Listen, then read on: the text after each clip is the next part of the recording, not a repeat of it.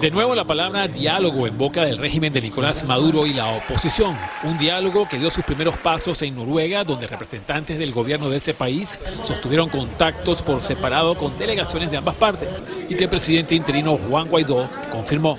Sí, hay unos enviados a Noruega.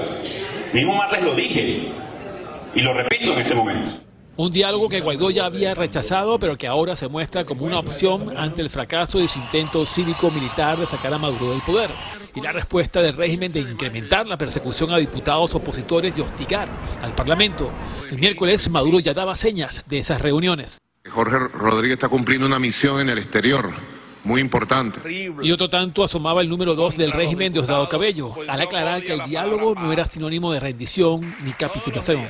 Lo primero que tiene que hacer la oposición es sentarse entre ellos a hablar para, para ver si le pueden hacer una propuesta coherente a nuestro país. El nuevo proceso de diálogo se conoce en medio del aumento de tensiones entre Estados Unidos y Venezuela, tras el desalojo de activistas que defienden al régimen de Maduro, que ocupaban la embajada venezolana en Washington por parte de la policía.